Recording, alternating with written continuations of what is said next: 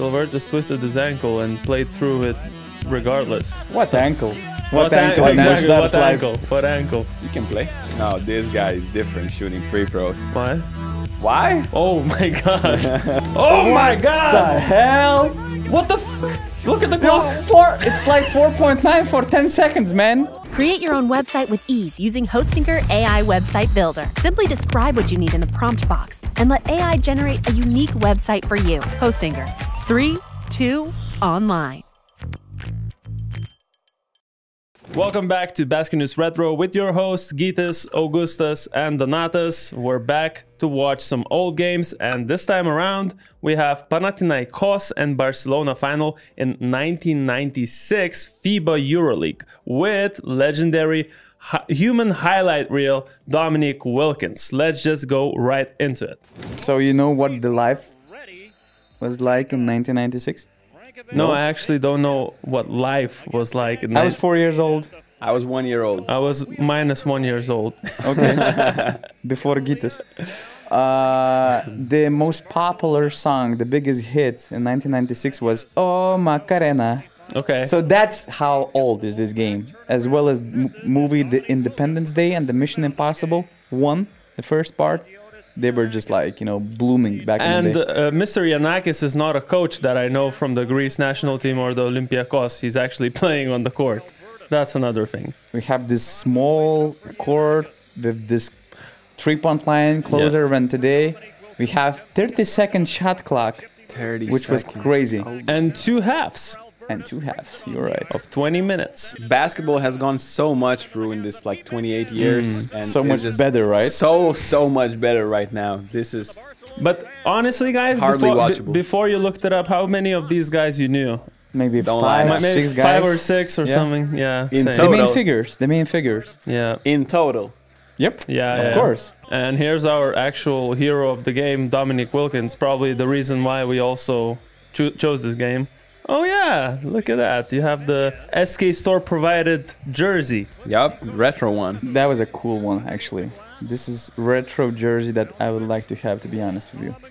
Not gonna lie, this is probably one of the most beautiful jerseys. True. Of the oldest ones. True. Hmm. Iconic. I would put them them at the same tier list with Seattle Supersonics, those green Yeah. and white ones. I probably they have to be from kind of the same year. Although I would love to have the one from uh, Dominique Wilkins playing for Panathinaikos in 1996. That would be more exclusive for sure. You know what's funny that the owner of the Panathinaikos football team tried to get this jersey from this actual game after the final, but he didn't let it happen and he took uh, it uh, to his home and also now his the jersey of this game of Dominique Wilkins is in his house in Atlanta. Okay. So how the hell Dominique Wilkins ended up playing in Panathinaikos EuroLeague, although he was the NBA star, I would say back in the day. It was the the star of the 80s, probably one of the most athletic guys uh, and with the most iconic dunks that I remember. But I, I, I heard from some Greek journalist uh, whose name is uh, not going to be revealed right now for no reason. Uh, he told me that Dino Radja was actually uh, had a good connection with Wilkins and he spoke with him a lot and also with the head coach to first of all uh, get uh, Wilkins to the Panathinaikos, but also to fix the relationship because there were some fire between the coach and Dominique. So we'll talk about that a, a little bit as well. Oh yeah, that's for sure. I just, you know, I just thought what happened to his NBA career that he became the uh, player for the EuroLeague market, but uh, the story, the legend that I heard how Panathinaikos decided to go after him was that it was actually actually just few years uh, when Giannakopoulos family took over the club. And Dimitris Giannakopoulos, the son of the owners, was actually the NBA fan, and he really loved Dominique Wilkins. Okay. So basically, you know, it was the initial dream, you know, to have this player from the NBA for Panathinaikos, and they managed to to make the deal. And uh, I was told by the, my, my colleagues in Greece that uh, the original contract Ooh, was there you go. six million dollars for two years, so three million dollars per year. But back in the day, you know, three millions uh, dollars today would be like six million or something. So it was a huge deal.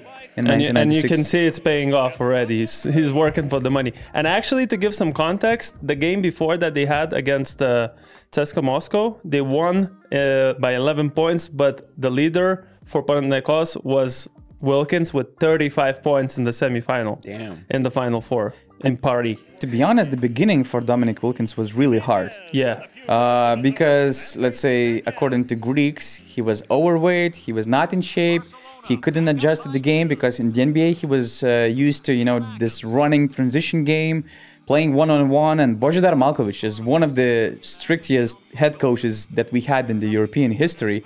So he liked those long 30 second possessions, you know, disciplined games. So both had clashes from day one basically. No wonder Panathinaikos every year has some NBA players after I hear this story. Oh, yeah, that makes sense. That makes sense. Who do you remember the most from these NBA guys? For me, the most recent ones, obviously, but but even Dwayne Bacon was someone who I didn't expect to see. Mm, Jason Kapono. I remember I loved him on the uh, what was the game? NBA Live. Yeah. He was a hell of a shooter. Jimmer Fredette. Jimmer, uh, I was Jimmer. about Leslie Johnson. Right. Tony Delk. Derek Williams. Oh yeah. Mario Hezonja after the EuroLeague, I think, came back to Panathinaikos, right?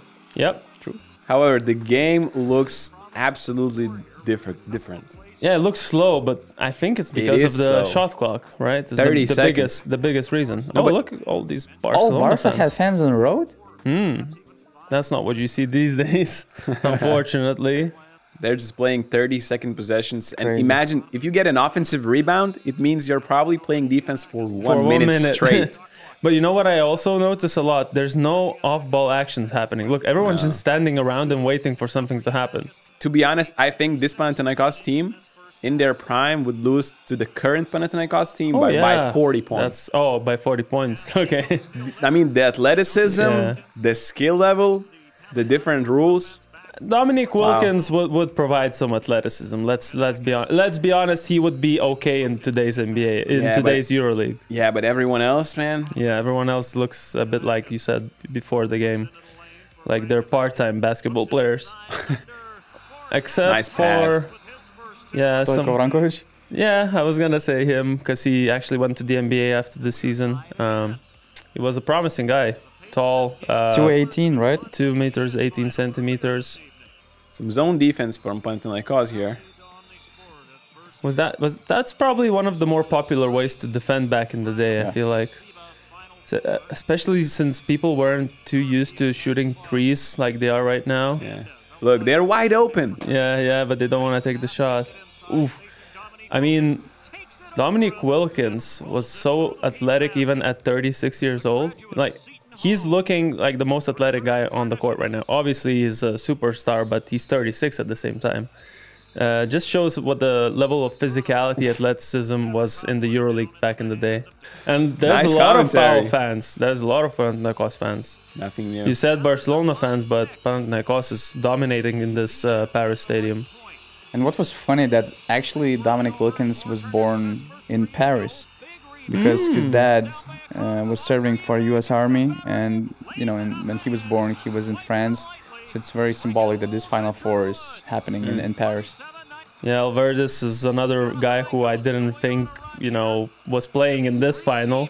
I only remember him from 2009, 2007, when he was already, uh, you know, on the bench most of most of the time.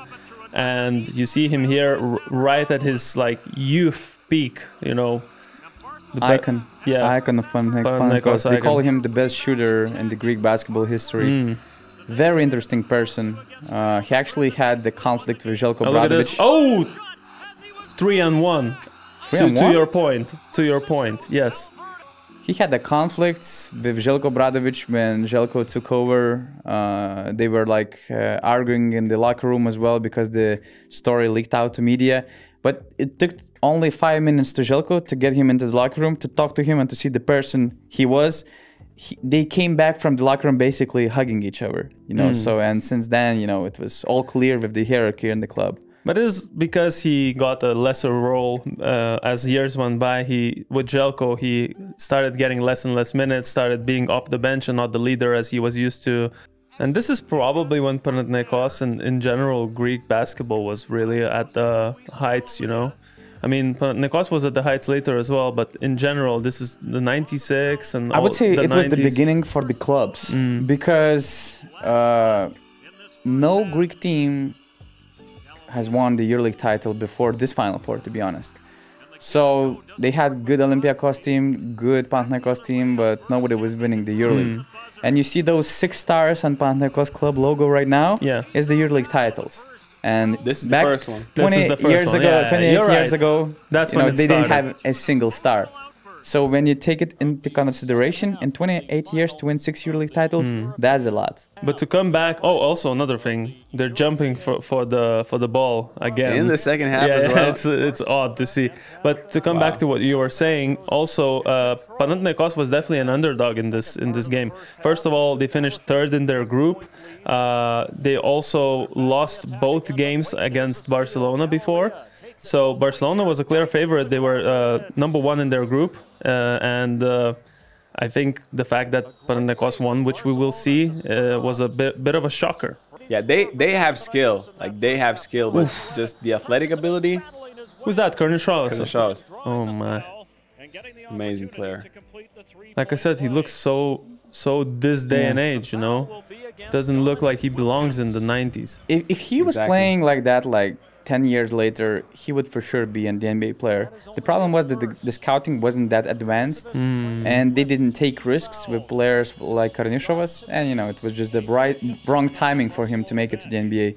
But he was a superstar in Europe for sure, and actually that year in 1996, he was the player of the year in Europe.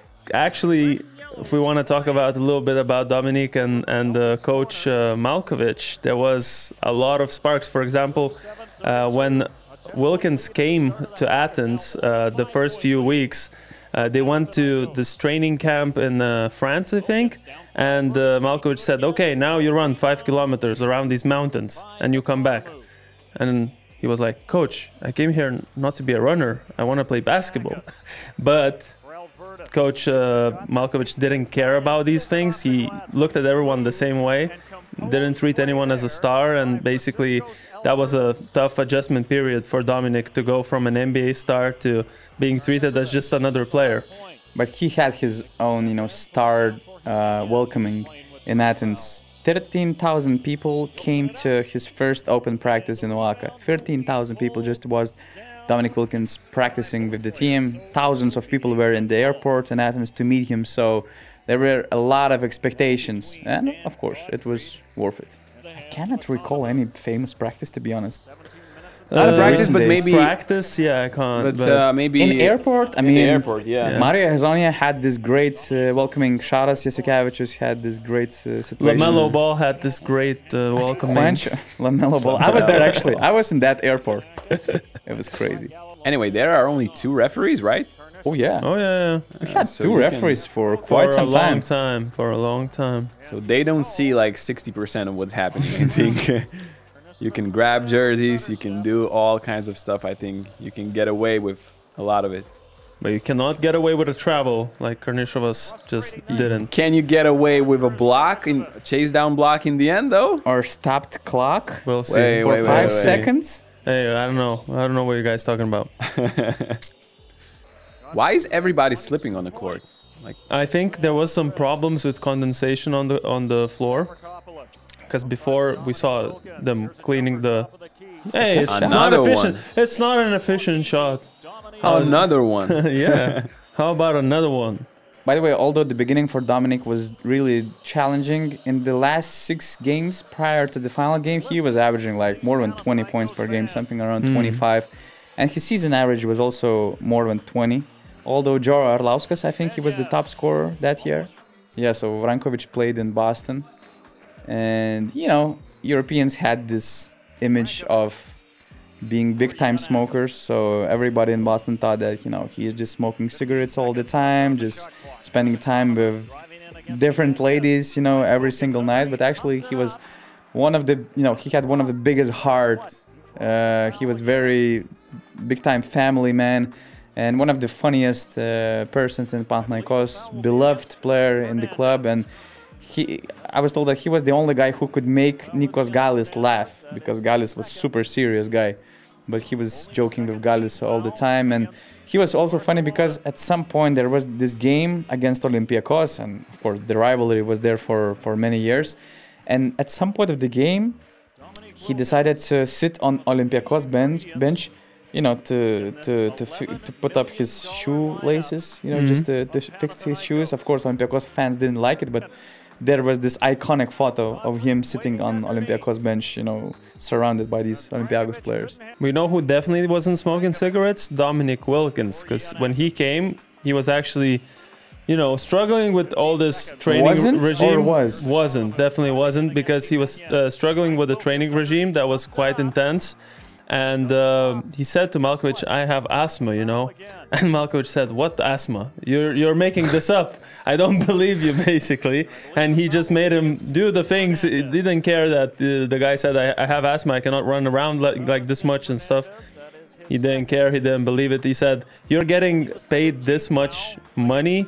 You have the rest. Re- you can get the the inhaler. you know, you can get the inhaler. You have the golden inhaler, basically." That's such a crazy way to think. Well, that's 90s Europe, you know. I mean, Well, I think you can still find coaches who do that. Oh, Co- yeah. Coach, I have an injury. What injury? you can run, you can play. You get paid enough. Yeah. I'm not sure about smoking, but what I'm definitely sure that Dominique Wilkins loved Greek nightlife. Oh, really? We all know that Greek and Athens they're famous for the, their nightlife. It was it was a thing back in the day as well. Oh, yeah. Did you know that Alvertis twisted his ankle and played through it regardless? That was another Oh, yes. thing. That something. Um, What ankle? What, an- ankle? in Exactly. What ankle? What ankle? you can play. Ooh. Offensive And that's offensive foul. But but It, was he in the circle though? there is no circle. replay, please. there is no circle. Wow. I believe he is up to nine tonight. Commentator said, "I believe he's up to nine. There were no box scores probably at that time. As as far as I can remember counting, he's he about right. nine points in right now. And it, look, he does have nine. Probably points. was writing down on- on the paper. That's very I don't, Oh, yeah, I don't no, think no. there were live Yeah, stats they at that definitely time. were writing sure, no. down. Oh, for sure. What life stats, man? What live stats? What internet? Barcelona are rushing. You can see that. Wow! What the hell Wow. was that? Oh, he should have scored, but I He's think he doing was Luka fouled. Doncic he things, was man. fouled. That was crazy. He's Who was doing this? Milos Teodosic things. And it's not like he just passed it. though. no, he, no. Did, he did this. Yeah, then yeah, yeah. What's that all about? I don't know. Can they come Ooh, back? nice nice ball ball movement. movement. Exactly. Dominique Brick. Ooh, dang it. there's gotta be highlights. What? What? what? Shaq in a full play. Uh, at least he Hey, made hey, it. hey, Okay, okay, hey, okay, hey, he's okay. having fun. it's all okay, good. okay. No, this guy is different shooting free throws. Why? Why? Oh my god. That's why, I guess. One-handed ones. First of all, how the tall is he? Sohan style. He looks really short, like 1 meter 80 at least. Oh, or He- at his, most. his wingspan looks even shorter than that. Wow. But this shot is. I, I'm now expecting to see know. someone do uh, uh, underhand. Underhand. Yeah, yeah. After this, I'm expecting that. There is one player in, in Europe doing that. Yeah, Onuaku. The, for for the Greeks that are watching, was was he like the best free throw shooter in Panathinaikos team, shooting With one one-handed? hand. And again, he's with the Yeah, ball. they're and he's imme- foul- Yeah, he's being fouled. Even though there's 1 minute 42 left. Because it's basically three possessions Three left possessions, in yeah. 142, so you have to foul. That's actually Man. true. Wow. Galileo, Galileo. There you Okay. go. And one. Oh, and one as well. Oh Where my god. Where was the foul though? foul? I didn't see, but let's see it. Let- Let's see the replay. Where was the foul? Not there. That Ah, was a maybe foul. there. Okay, so didn't that touch was him. No, I think no, Giannakis touched his no, hand. no, he No, smacked him. Giannakis didn't touch him. He smacked him on the hand, Replay. on the arm. No. Look, Under the basket. Look. Boom. There was. contact, Mm, I think contact. But he, look- but also look at how high Wilkins is flying in this. But this game was Panathinaikos's. Like now it's one point. Wilkins to be the hero. Uh-huh, Double team. Double team. Nice. Oh, oh, oh. Oh, why, Stoikov. do- why doesn't he? oh, crazy. they need. Well, okay. 30 more and now seconds. they're not fouling him. Uh, so then they'll have like four seconds, and probably or so. We don't know how much is on Only the shot. yeah, it's four four second differential. Why they're not fouling? With that speed that they have back in the day, you know, they're taking risk with like four seconds. Yeah, yeah, yeah. it it takes them don't like six or seven the seconds to run. That shoots with one hand. What a chaos, bro. I don't know about this Oh, whole what a chaos. Oh Another my slip. god. Oh my god. Oh my god. The hell? What the f Look at the No, clock. four. It's like 4.9 for 10 seconds, man. Oh, it's crazy, man. Come on, Panathinaikos players, they're also saying that. What's going on? What the hell is going on? Replay, We need a replay, coach replay, challenge, replay, coach replay. challenge, Okay, replay. let's let's Look, look, look, at look, this. That's ridiculous, man. What just happened? What a Okay, steal. so look, look, the The- one, the clock is Two, like three, we need we, we need also four, a timer. five. But also this That's block, late. man. Did you see it? the crazy block? That's late. That yeah, should no, be I know. two points. Yeah, no, I know. Wow. So, So two EuroLeague crucial Mafia, mistakes. but for Barcelona. No, for Panathinaikos. Wow. What do you mean? No. How is it four Panathinaikos? In what sense? Okay, let's let's see it again. speed, let's see it again. speed. Yeah. One, two, Yeah, but that's Three, two points for four. Barcelona here. five, six, I don't know, I think It touched he- the he- backboard. nine, 10 seconds. No, Almost I say 10 eight, seconds. eight seconds, eight seconds. Okay, okay, okay, okay. Take Yeah, the What shot the the, hell? the shot clock is nuts, but the Can the, we- the shot touched the backboard first. Okay, let's stop. Can we watch the replay of this block? Okay, so let's just look at this block. Because Augustas is saying it was a late, uh, like the ball touched the The backboard first. yeah the backboard. Okay, first of all, how he got back is crazy. Yeah. I think. I think he touched this. Um, Yeah, he touched the backboard. Hmm. I mean, Uh, Mantas, frame by frame, please.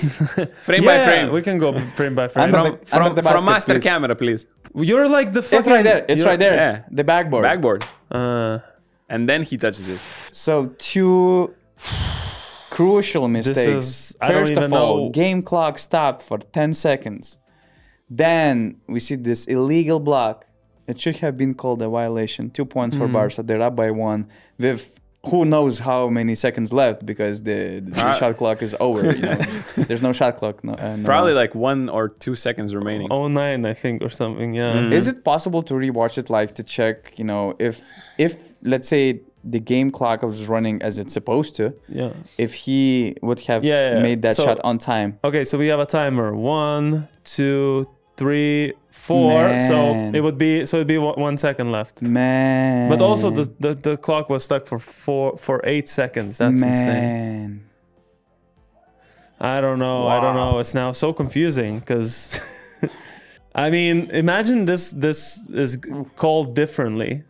And then Panathinaikos doesn't win this, you know. We, we don't know how the rest of the history would unfold because this inspired so much uh, basketball in Greece, I would assume, you know, this win. And Panathinaikos fans became more involved with basketball after this. I don't know, man. Imagine it happened today. With all then these then we would see the the replay, social media, and, and it would never it would never happen really. How how Who could it happen? knows? I don't know, man. If they if they would check if the block was legal, they could do that, right? I don't know, man. It's At so that day? Me. No, no, in the modern day. Oh, right now. They would probably. Let's say they screwed up with this game clock and they continued to play. I don't even know You how cannot you fix count that. this basket if you don't stop the game clock, right?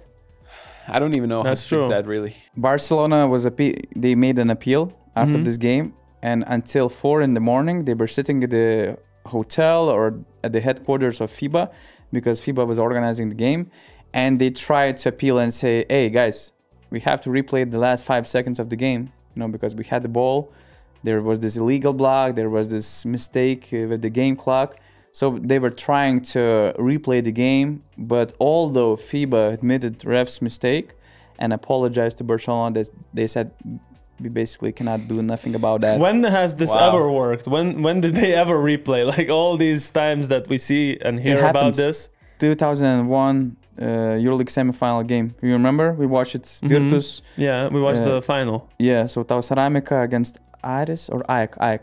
Yeah. So they actually replayed the, the game, Mm. the actual game itself. But imagine this happens. The exact same situation is the opposite. Panathinaikos are on the fast break. They get a block that should have counted like two points.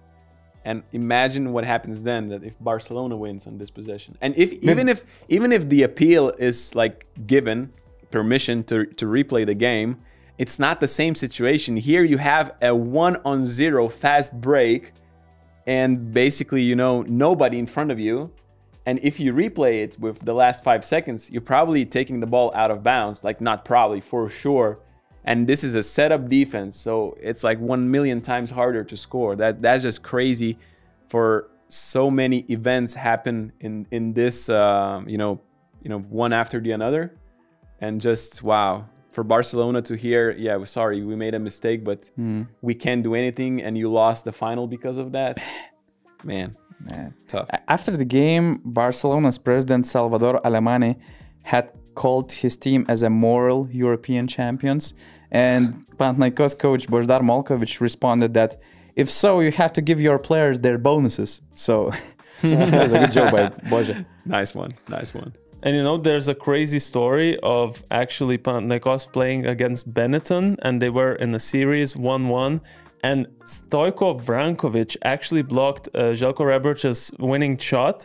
And after the game, uh, some reporter asked something about it, and he said, "I'm just saving one more block for the final." Wow. Or so he for, knew it. for later. Yeah, yeah. And that for this season is my uh, one more block, and this happened. That's no crazy. way ain't no way That's Ain't the no way. prophecy. That's the prophecy. Come on. By the way, Stojko Vrankovic blocked 10 shots in 2001, so he still holds the EuroLeague blocked shots record in a single game. And actually, after this blocked shot, uh, shots and championship uh, celebration, he had to skip. He missed all the celebration in the locker room because he was in the dop- doping control uh, room. Okay, Wow. because I, I don't know how he got back to block that. That recovery that was insane. crazy. Yeah. it looked like it was just a clear path. Nobody's there, and you just got back. For a guy standing at 218, that's crazy. wow. Yeah, then the- you definitely need to drug test. the, the, the drug, uh, yeah, the doping test controllers saw that and was like, "Yeah, we take him. Yeah, we you take go. him. This we guy take, first. come on now, come on now." maybe maybe Wilkins after for his jumping ability at 36, and you don't know. You know, back in the day, the testing was very good. You don't know. These guys could get away with a lot. Fun fact uh, Dominique Wilkins actually hasn't finished his season in Panathinaikos. He didn't finish the domestic league. You mean? Nope, because you know after celebrating EuroLeague title, he laid back a little bit, and it didn't went along very well with Boždar Maljković, so he decided to leave the team. Uh, just before the Greek uh, league playoffs, and actually Panathinaikos lost to Olympiacos in in Game Five, and actually this Game Five ended up uh, by Olympiacos winning 73 to 38. And what was interesting and funny that Panathinaikos Olympiacos fans had this chant uh, for Dominique Wilkins. It sounded like uh, Ir fes dia jada do picnic, Dominic, Dominic. and in English it means like Dominic, uh, you came to Greece only for picnic, Dominic, Dominic. so My favorite part was uh, the Greek Donatas chant, chanting Greek chants. Yeah. and I was like, "How Uh, many bor- bad words is he Yeah, saying?" yeah, yeah. to be honest, does, does no, he know? no cursing, no cursing. I was so shocked that there were no curse, Creative. no bad words involved. And back in the day, uh, Panathinaikos and Olympiacos fans they were allowed to support their teams in away games. At least I was told so. So these were family-friendly times in Greece. Guys who are Greek, please let us know if Donatas messed up that chant or not. Probably. we need to know. Also, thank you for watching. Subscribe, like the video, and we'll see you in the next episode.